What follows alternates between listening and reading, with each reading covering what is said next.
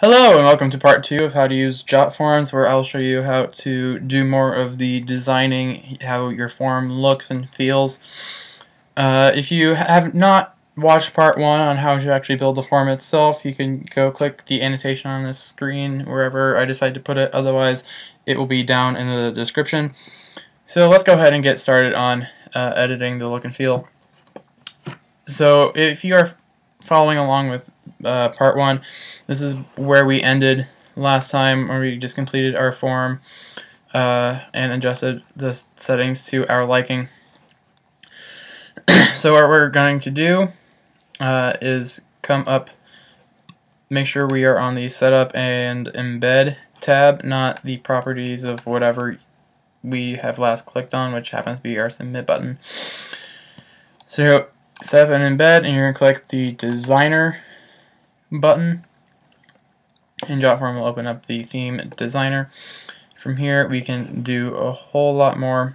So right now uh, I want to maybe change the how our submit button looks and just click on the submit button over here we can choose a different style it would be kind of a silver, but you can barely read the submit, but you can change the text there, but I want a different button.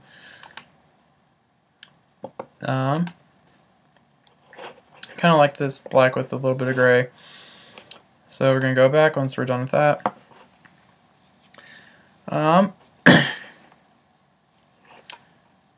you can change more of that um, later, but I'm not going to do that right now. Just to move along, you can change the color scheme of your uh, form. Once we have our colors selected, you can do that.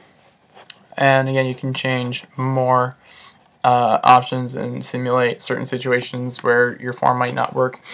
But we're going to move on. You can choose uh, a background image um, so the background image would be this bit that we just colored, and the form background would be this white area. uh, you can choose the mess with the form layout. You have it be square corners or kind of slightly rounded or very, very much rounded. I'm going to keep it square. uh, just the form cover. So I'm going to change and change the form cover. Um, so I'm going to upload my own image.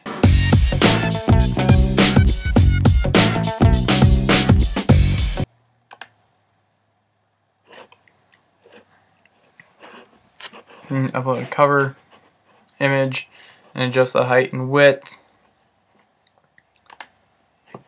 Um, the form cover, you can change the font and the size of the font. You can change the label styles. So that this would be the label like where it says full name, email, blah blah blah. Change the line layout. And if you want to adjust certain aspects, you just click on uh, the area uh, for the most part, and just and then a set of um, options will show up. So you can change the uh, background image if you want, and all of that.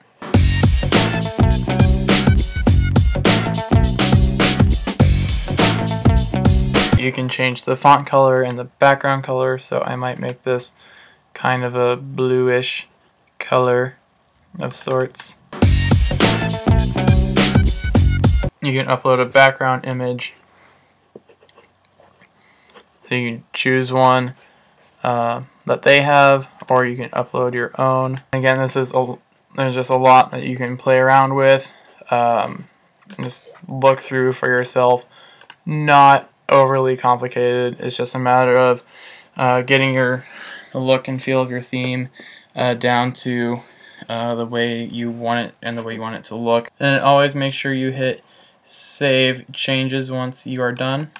So that pretty much concludes uh, how to design the look and feel of your form. Uh, I'd call it done right now, but there's one last thing I want to show you that I probably should have mentioned in part one. Uh, if you just want a form for short-term use, then you do not. I would suggest not creating a account on this site. Um, instead, you can just share the URL, have people fill it out, and then once it's done, then you can just once once you're done using the form, then it will automatically go away from JotForm, or the next time you come back, it'll. I think actually the next time you come back, it'll still be here, um, and you can reuse it again and edit it the way you want. But if you want to use a form long term, then I highly suggest that you uh, create a account and you you'll click the sign up button, and all you do is put in a username, the email you want to use, uh, create a password, and confirm your password.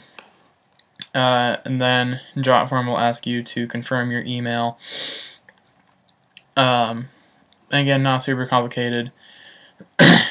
uh, I'll log into my account and show you some of the settings.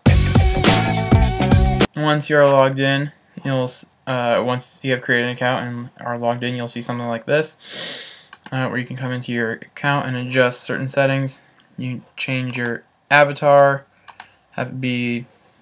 You can upload your own picture. So you can select an a uh, avatar that JotForm has on their servers and on their website. Nope, don't do the thing.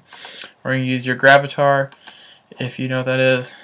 Um, put in your phone, number, your uh, website, your email. Uh, choose security questions, put in your company name, industry, and all that. And you have your settings. Um, again, go into all that and edit it, edit them uh, the way you like. The theme here means the theme that you see on uh, as the background for JotForm as you see, because before it was kind of a gray, now it's kind of a dark blue. Don't know if you can really tell, but that's what it is. Uh, you can, on a free account, you can create up to one more sub account. Um, but if you pay for a, um, pay for a account, add multiple users and whatnot. And not too terribly priced. I mean, some of the bigger plans are a little more expensive, but again, I like to keep things as free as possible on in my tutorials, so we're not going to deal with that. Uh, API keys, if you need to ever use those for something. Uh, gives you the history of like when you logged in, uh, what day, uh, from the IP address that you logged in. Gives you the usage. you can get more. You can also get more storage by doing um, a list of things that JotForm has provided. um, you can earn um, amount of submissions per month.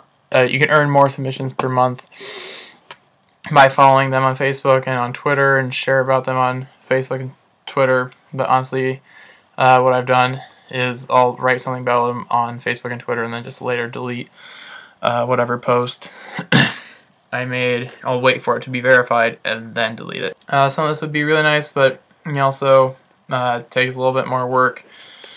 But doing that is completely up to you. So that is the uh, settings of a account in JotForm and that is how you would build um,